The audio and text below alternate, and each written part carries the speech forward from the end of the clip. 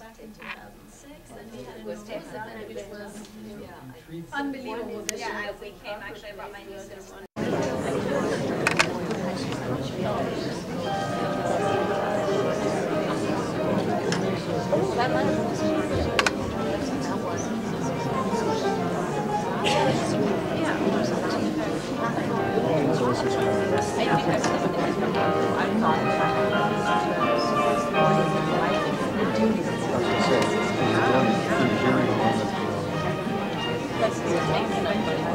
We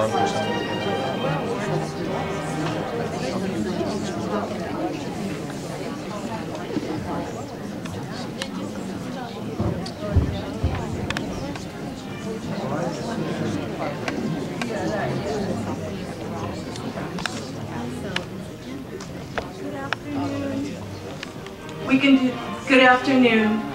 There are a few more people who may be um, coming in, but I don't want us to wait any longer. We have a fabulous program this afternoon. And uh, how many of you are Bowers members? Oh, wonderful. Then you heard about it in either the newsletter or our website or Facebook. We are trying to find out how our audiences are hearing about our programs. For those, the members, did you see it in the newsletter? And the email, e- the website? Okay. When we ask this is we get such a variety of responses. We just want to make sure that we let everyone know about what we're doing.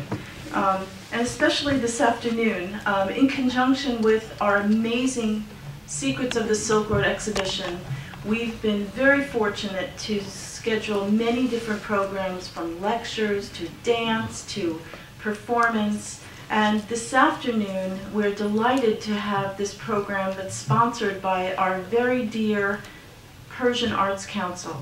Um, we, I've wanted to have this program for a long time, and I'm really pleased that today is the day.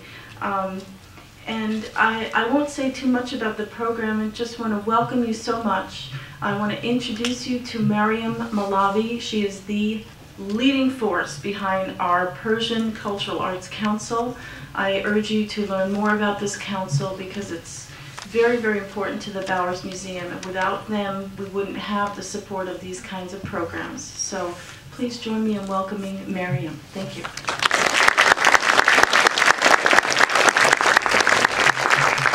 Good afternoon and welcome. Uh, درود خوش آمد به همه. I'm just greeted everybody in Persian also. We're very happy to see you this afternoon and we're very happy to be able to be in such a wonderful museum to be able to bring to you uh, some awareness and education on the culture that we came from.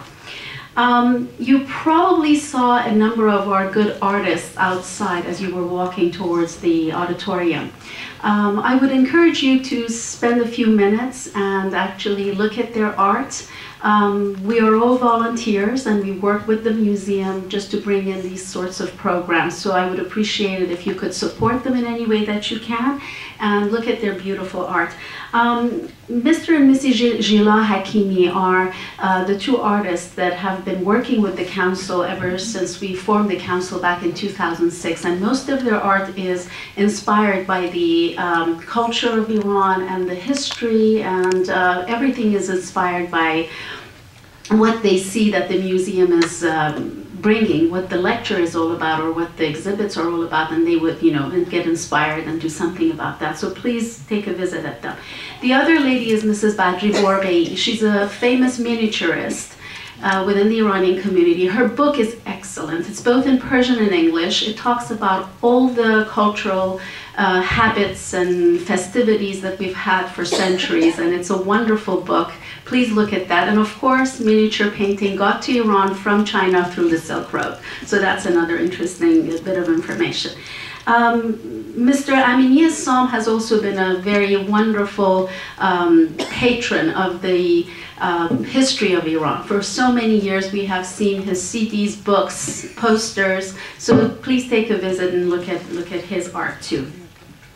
Uh, on our membership table, here's the membership for some of you, particularly uh, from the Iranian community. Please take a look, and I encourage you to please become members of the museum and support this program. If you like these sorts of programmings, please support the program.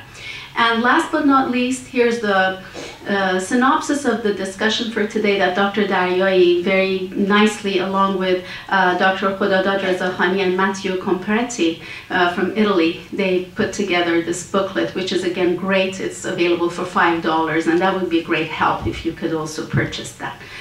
So without any further ado, I would also like to um, introduce you to another wonderful master musician within the Iranian community. He plays the violin. His name is Ali Reza Khademi. Uh, he started his violin lessons at the age of 15 with uh, Master Baharlu in Iran, and uh, he was awarded the title of the best violin performer and the National High School Arts at the National High, High School Arts Competition. Uh, he became the conductor of the orchestra and a soloist in uh, Talar Farhang for the Iranians who would remember 30 years ago one of our best um, auditoriums and uh, like an opera house, let's say. And um, he uh, migrated, and, and his, his, background in education is actually in, um, he has a BS in management and accounting, but at the same time, he's a great artist. Um, he immigrated to Europe and founded the Mahur Center, for arts and culture, and uh, he has been active uh, ever since he immigrated to the United States. Um, Mr. Khademi is a master musician in violin, and we are so honored to have him here to open the program for this wonderful discussion this afternoon. So uh, thank you again for coming, and let's hear it from Mr. Khademi.